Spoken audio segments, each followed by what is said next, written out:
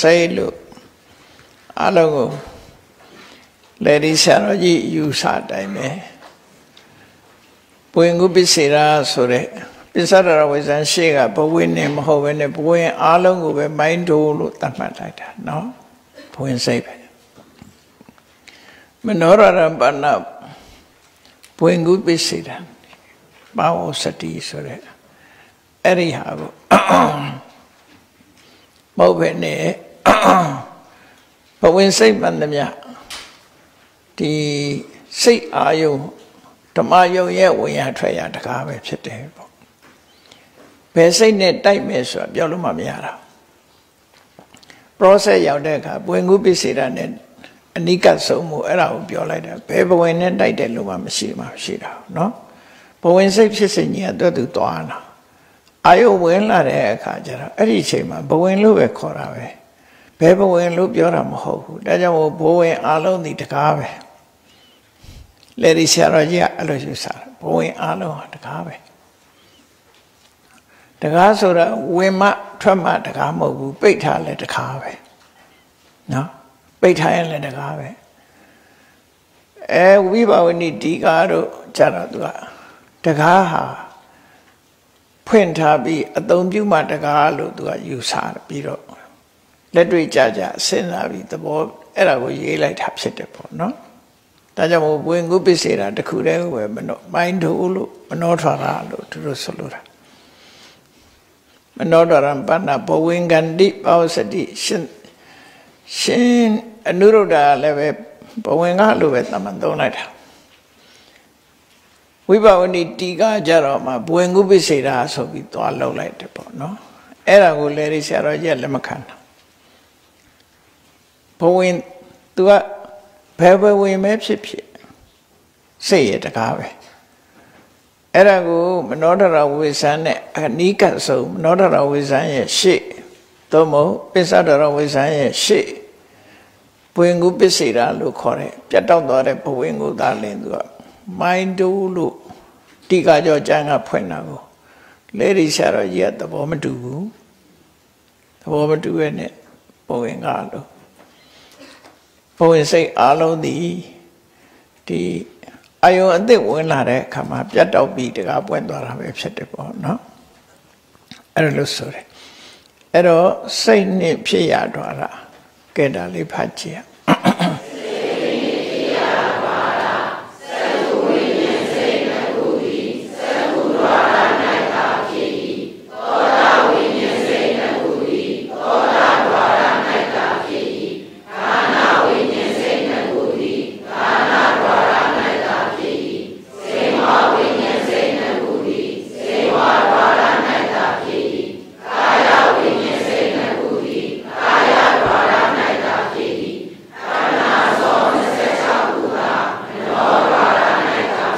အဲ့ဒါတီလို့ ပြင်ထားပါအမှားရဖြစ်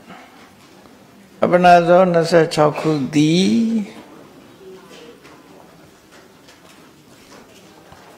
မနောဒရ၌သာဖြစ်ဟုတ်ပြီနောက်တစ်ခု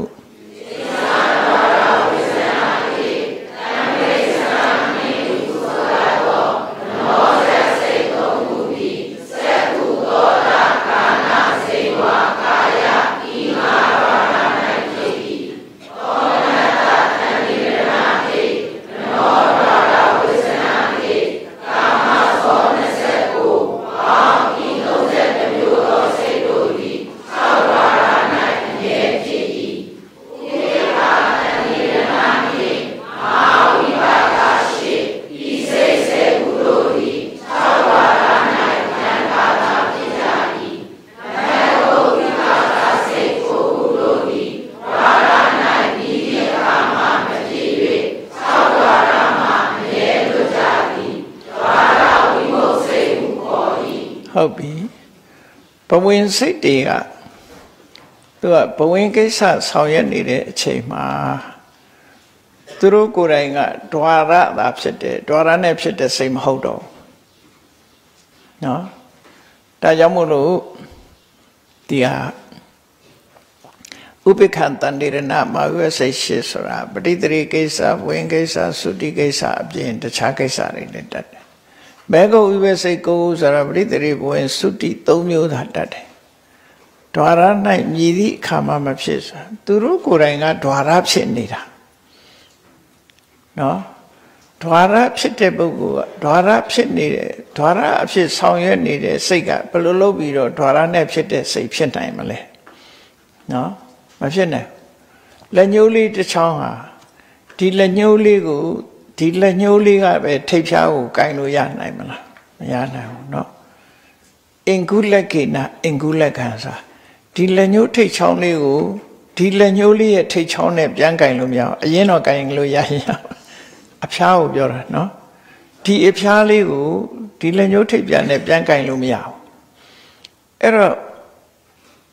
ဘဝင်စိတ်ဆိုတဲ့ဘဝင်စိတ်ဟာသူကိုယ်တိုင်ကဓာရ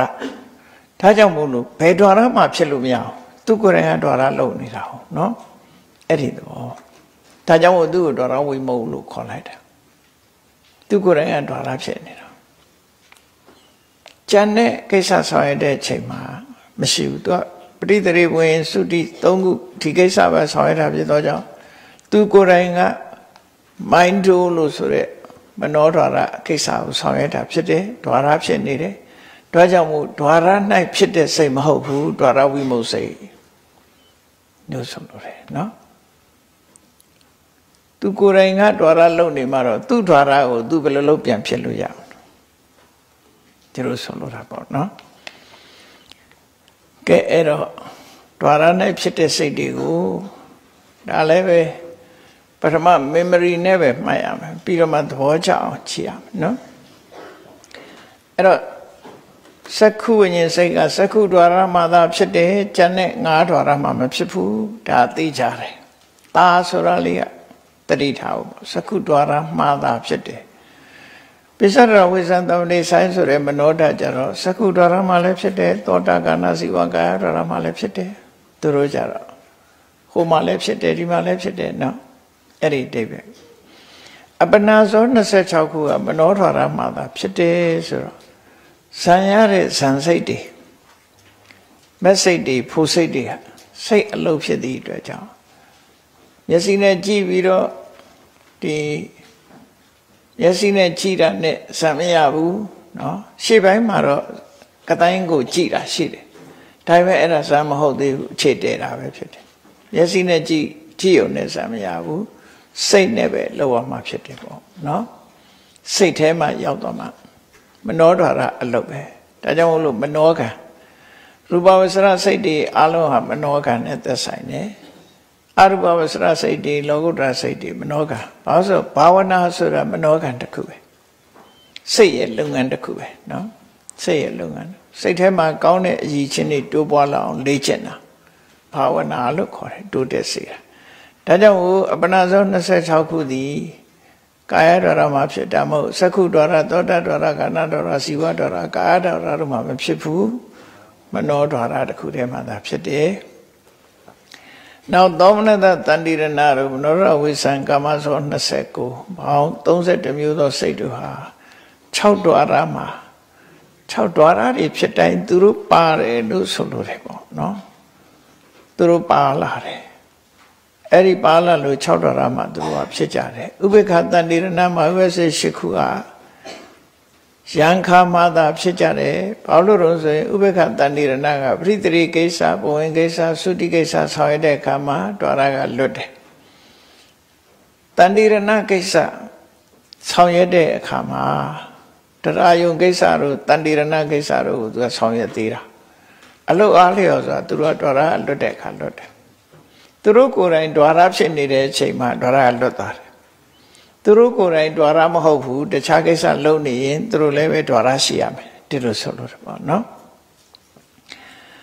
နောက်မဟေကုဝိစိတ်၉ခုဆိုတာပရိသေဘဝင်သုတိဒီကိစ္စပဲဆောင်ရွက်တယ်ဉာဏ်နဲ့ကိစ္စမဆောင်ရွက်နိုင်ဘူးဒါပေမဲ့သူတို့ကိုယ်တိုင်ဘဝင်ကိစ္စဆောင်ရွက်နေသည့်အတွက်ကြောင့်သူတို့ဟာဓွာရအလုပ်ကိုလုပ်နေကြတယ်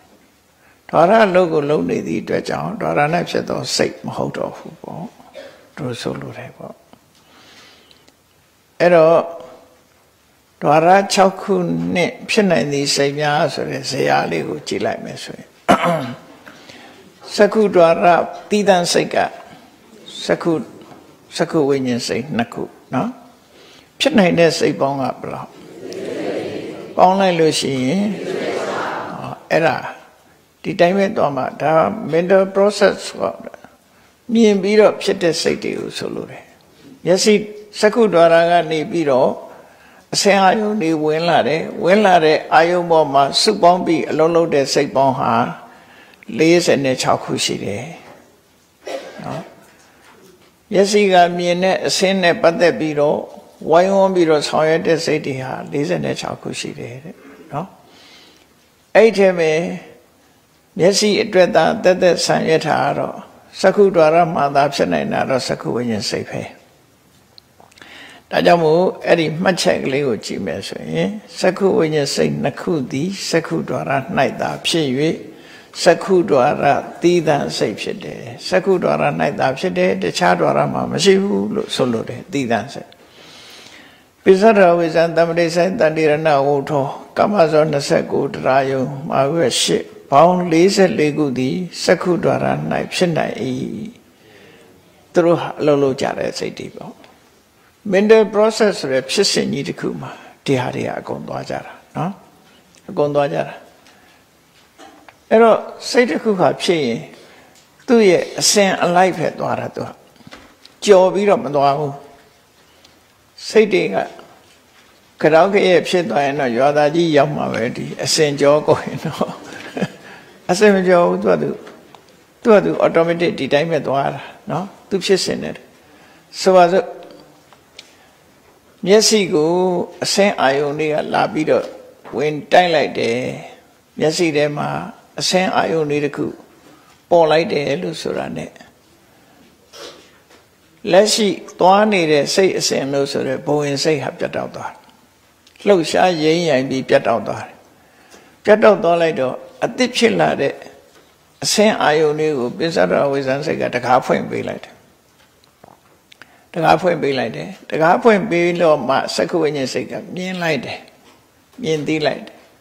အဲ့ဒီနောက်တမ္ပတိဆိုင်ကဆက်ပြီးလက်ခံထားလိုက်တယ်တန်တီရဏကစူးစမ်းဆင်ញင်ပြီးတော့ဟိုထောကဇောဖြစ်ဖို့အတွက်အခွင့်အလမ်းတစ်ခုဖန်တီးပေးလိုက်တယ်အဲ့ဒီနောက်မှာကောင်းတယ်မကောင်းဘူးကြိုက်တယ်မကြိုက်ဘူး လှတယ်မလှဘူးဆိုတဲ့အတွေးတွေကဇောကြမှာပေါ်လာဒါ process လို့ခေါ်တယ် mental process ဝိထိဆိုတာစိတ်ဖြစ်စဉ်အဲ့တိုင်းပဲသွားအပထမဆုံးဖြစ်တာကတော့ဒီအာယုန်နဲ့ပတ်သက်ပြီးပထမဆုံးစအလုပ်လုပ်တာအဝဇ္ဇဒါမို့စက္ခလောကရူပထင်ပြီးမနတိဆိုတာအဲ့ဒါကိုပြောတာမနတိဆိုတာနော်မနတိဆိုတာမနတိကာရကိုပြောတာ အဲ့ဒီသင်္ကန်းရကြမှာပါစက္ခလောကရူပထင်ပြီးမနတိလေးလီစက္ခုဖို့ဆိုတာမျက်စိလည်းရှိရမယ်အစင်းအာယုံကလည်းထင်ရမယ်အလင်းရောင်လည်းရှိရမယ်နှလုံးလည်းသွင်းရမယ်အဲ့ဒါကြမှာစက္ခုဝိညာဉ်စိတ်ဖြစ်တယ်ဆိုတာလေစက္ခုဝိညာဉ်စိတ်ဖြစ်ဖို့ကစက္ခုဝတ္တရယုံလည်းကောင်းရမယ်အစင်းအာယုံကလည်းမျက်စိထဲမှာလာထင်တာဖြစ်ရမယ်နော် ထင်နိုင်သိလားဆိုမထင်နိုင်မသိဘူးတတိမထားလိုက်ရှင်မမြင်လိုက်ဘူးတတိထားတဲ့မနတိကာရရှိရမယ်တခြားဝတ္ထုတွေမြင်မို့ကြအတွက်လုံလောက်တဲ့အလင်းရောင်လည်းရှိရမယ်အဲ့ဒီအချက်လေးချက်စုံမှစက္ခုဝိညာဉ်စိတ်မြင်သိစိတ်ဆိုတာဖြစ်တယ်တို့ဆိုလို့တာအဲ့ဒီမှာ နှလုံးသွင်းဆိုတာဘာကိုပြောတာတော့ဆိုစက္ကဝိညာဉ်စိတ်မဖြစ်ခင် ရှေ့ကဖြစ်လိုက်တဲ့ပင်စတော်ဝိစာအဲ့ဒါနှလုံးသွင်းပဲသောတာဒွါရထို့တူပဲတခါတလေလူတွေနားလဲကောင်းတယ်အတန်လဲရှိတယ်ဒါပေမဲ့သူပြောတယ်မကြားလိုက်ဘူးပြောလားတခါတလေကိုနာကသွားရဲ့တန်နဲ့မမြင်လိုက်မိဘူးဆိုလူတွေရှိတယ်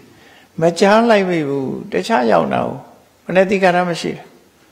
တကားဖွင့်မပေးဘူးမပေးရင်သူကသူဖြတ်ကျော်သွားမှာပဲလေအဲ့တော့ဒီနေရာမှာမြင်လိုက်တယ်ကြားလိုက်တယ်လို့ပြောနိုင်တာဘယ်သူကြောင့်လို့ဆိုရင်ပိဿဒရဝိစာဒီစိတ်ကဒီအာယုံကိုဖွင့်ပေးလိုက်တာဖွင့်ပေးလိုက်တော့မှမြင်တာကြားတာဖြစ်တယ်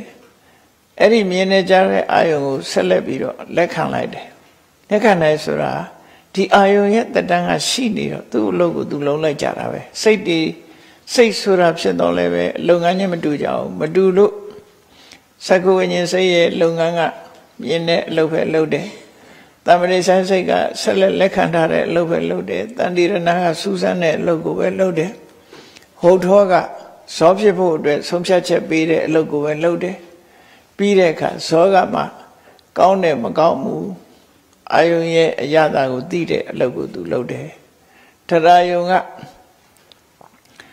နောက်ဆက်တွဲလေးဖြစ်တဲ့သဘောဇောရဲ့အရှိန်လေးပါသွားပြီအဲ့ဒီအာယုံကိုဆက်ခံတဲ့သဘောလေးဖြစ်တယ်လို့။တော့ဒီစိတ်တွေအာယုံနဲ့ပတ်သက်ပြီးအလုံးလုံးသွားကြတာတို့ပြီးရင်အာယုံတက်တန်းလေးကကုံသွားတယ်။အာယုံလေးကလည်းသူကသူအမြဲရှိနေမှာမဟုတ်ဘူး။ပထမတစ်ခါထင်လိုက်တဲ့အာယုံဒီ16စက္ကန့်ဆိုပြတ်သွားပြီသူက။ အဲ့ဒီ16စက္ကန့်အတွင်းမှာဝိုင်းပြီးလှုပ်လှုပ်လိုက်ကြတာပြီးသွားတယ်နောက်တစ်ခါတစ်ခါပြန်တွေးတယ်နောက်တစ်ခါပြန်တွေးတယ်အဲ့ပြန်တွေးတဲ့စိတ်တွေကတော့အများကြီးပဲဖြစ်မယ်သူကြတော့ mind တိုးနဲ့ပြန်တွေးတာပစ္စုခုဟာကပစ္စုပန်ဖြစ်တာလေးကိုပြောပြနော်တကယ်တိုက်လိုက်တဲ့အာယုံပေါ်မှာဒီစိတ်တွေဒီတိုင်းပဲဖြစ်သွားကြတယ်အဲ့ဒီသဘောကိုဆိုလိုတယ်သက္ကုဉ္ဉ္စိတ်နှစ်ခုသည်သဟုဒ္ဒရ၌သာဖြစ်ပြီးတိဒံ သက္ကုဉ္ဉ္စိတ်မဖြစ်ခင်ဟာပစ္စရဝိဇ္ဇံဖြစ်မဲ့တမ္ပတိဆိုင်တတိရဏဝုထောဇောကဒီနေရာမှာအစင်းအယုံနဲ့ပတ်သက်လို့ကာမဇောလို့ပြောတာနော်တရားယုံပေါင်း44ခုဒီသကုတ္တရနဲ့ဖြစ်နှစ်ရပေါင်းတော့46တဲ့ဤနည်းကိုကြည့်ပြီးသောတာခန္ဓာစီဝါကာယဒွါရများ၌မှတ်ပါလို့ဆိုဒီတိုင်းပဲနော်သကုဝိညာဉ်စိတ်ပြောင်းသလိုသောတာဝိညာဉ်စိတ်စသည်ပြောင်း နောက်တစ်ခါမနောဒရဝိသနာ1ဇော55ကာမဇောရောတပြင်းဇောရောကုန်ပါလာတယ်တရားယုံ7ဘောင်း68ပါးသောစိတ်တို့သည် မနောဒရ၌ဖြစ်ကြ၏မိုင်းတို့မှာဖြစ်တာကြတော့ပုအရာကျဲတယ်အဆိုပါ68ခုမှမနောဒရတိတန်စိတ်က31 မနောထွာရနဲ့ဖြစ်နိုင်သောစိတ်36ခုတို့ကိုခွဲထုတ်မှတ်သားရ၏တဲ့အဲ့ဒါခွဲထုတ်ပြီးတော့မှတ်သားထားမယ်မနောထွာရမှသာဖြစ်တယ်တခြားမှမပါတာလေရှေ့နာလေးမှာပြထားတဲ့အတိုင်းပဲ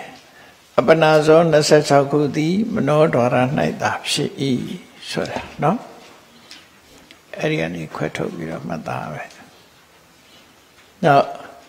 စိတ်အာယုံ6ပါးတဲ့အဲ့ဒါလေးကိုဖတ်ချင်အောင်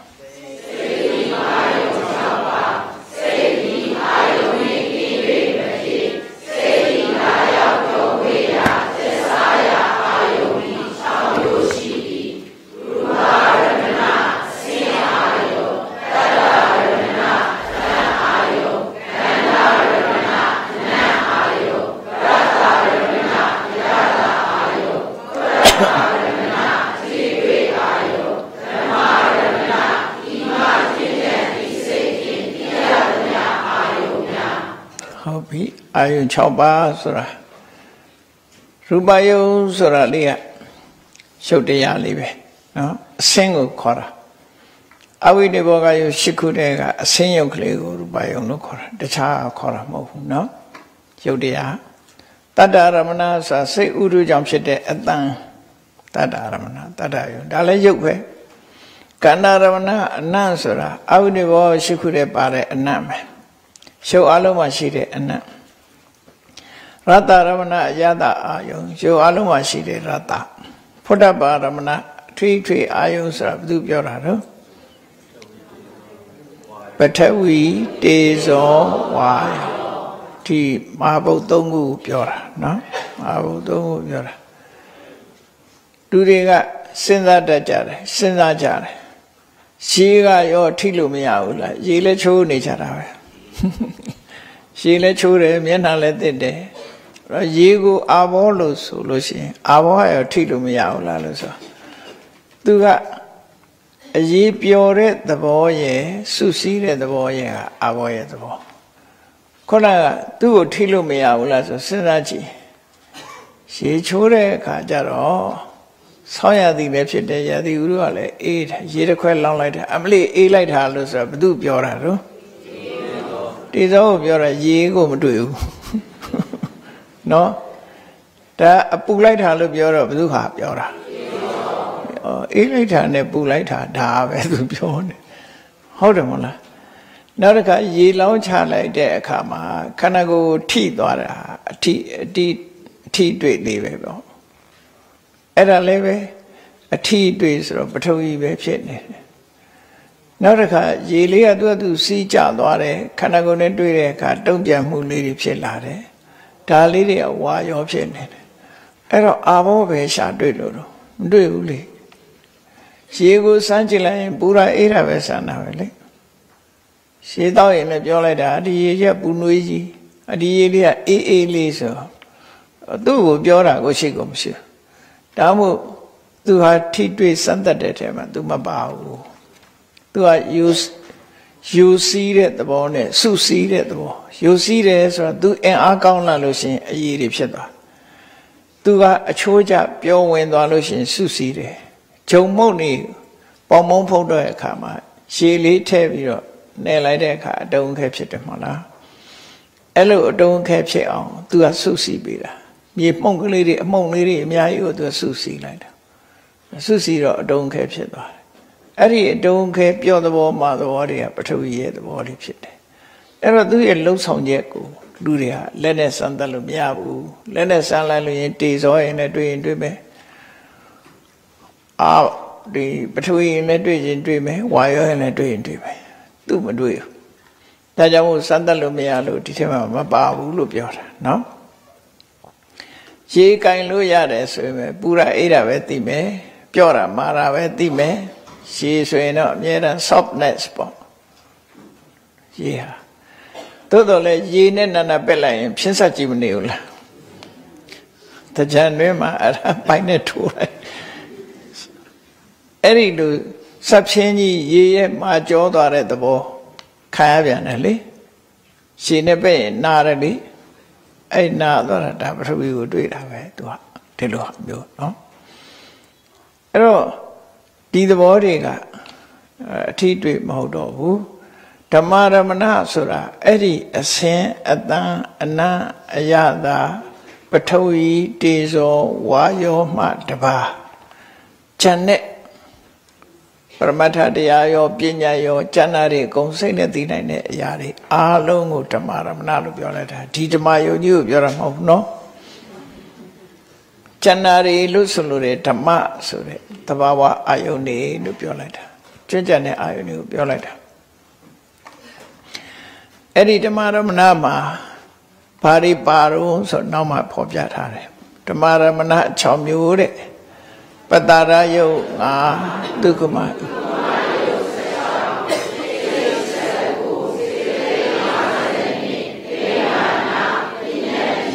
အဲ့ဒါတွေဟာဓမ္မရမဏလို့ခေါ်တယ်ပတ္တရာယုတ်ဆိုတာလဲ မျက်စိကိုမျက်စိနဲ့မှပြန်ကြည့်လို့မှမရတာနော်စိတ်နဲ့ပဲသိရမျက်စိကိုမျက်စိနဲ့မှပြန်မမြင်တာအဲ့တော့ဒုက္ခမယုတ်16ခုဒါတွေကသူ့ဟာနဲ့သူသိလို့မရတယ်စိတ်နဲ့ပဲသိရမယ်စိတ်ကိုစိတ်နဲ့သိတာစိတ်89ခုကလည်းအာယုံဖြစ်တယ်စေတသိက်52ကလည်းအာယုံဖြစ်တယ်နိဗ္ဗာန်ပညာဆိုအလုံးပေါင်းလိုက်မယ်ဆိုရင်ပတာရယုတ်5ခု ဒုက္ခမယုတ်16ခုအဲ့ဒီကဘယ်နှခုတော့21ခုနကအစင်အတန်အနအယတာပထဝီတေဇောဝါယောအဲ့ဒီကခုနှစ်ခုနဲ့ပေါင်းလိုက်တော့ဘယ်လောက်ရှိပါရုပ်28ပဲလေတာဟုတ်လားရုပ်28ဒါဟုပဲရုပ်28ဆိုပြီးတော့သင်လာခဲ့တာလေဟုတ်တော့မလားဒီယုံ28ပဲလေ အဲ့ဒီယုံ28ကိုပဲအာယုံပြုပြီးတော့သိတာပဲအဲ့တော့စိတ်ကိုလည်းစိတ်နဲ့သိနိုင်တယ်ဒါမှမဟုတ်အာရမဏပစ္စည်းဆိုတာစိတ်စေရတဲ့ယုတ်အကုန်လုံးဒီအာရမဏပစ္စည်းဖြစ်တယ်သို့တော့အဲ့ဒီအာယုန်ဒီအာယုန်လို့ဆိုတဲ့အရာ6ခုကိုသိနိုင်တာကတော့စိတ်နဲ့စေရတဲ့ပဲအာယုံပြုတ်နိုင်တာကစိတ်နဲ့စေတဲ့သိပဲအာယုံပြုတ် အာယုံကိုသိတဲ့စိတ်နဲ့အာယုံစိတ်အာယုံတရားနဲ့မတူဘူးတစ်ခုနဲ့တစ်ခုနော်စာပေမှာတော့အာရမဏအာရမဏိကလို့ခေါ်တယ်အာယုံကိုသိပြီးတော့ဖြစ်တာက စိတ်စေတဲ့သိအာယုံအနေနဲ့ဖြစ်တာတွေကစိတ်စေတသိက်အပါဝင်ယုတ်တိအာလုံးနိဗ္ဗာန်ဖြစ်ညအဲလိုမှတ်ထားနော်အလုံးဟာအာယုံမဖြစ်တဲ့တရားလို့မရှိဘူးအလုံးဟာအာယုံဟာဖြစ်တယ် အာယုံဆိုတာစိတ်နဲ့သိရတဲ့အရာအဲ့ဒီအာယုံကိုသိတာကြတော့စိတ်နဲ့စေတသိက်နှမျိုးပဲနော်